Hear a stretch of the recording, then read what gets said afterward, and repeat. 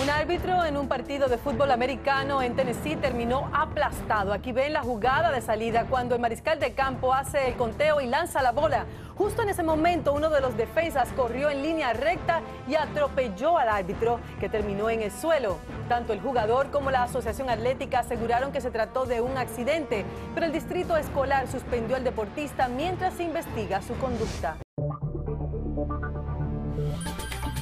Cada vez que la vida nos estremece inesperadamente, nos damos cita e investigamos para que tú estés bien informado.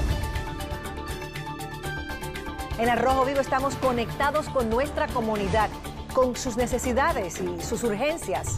A las 4, 3 Centro. Somos tu primer frente de información.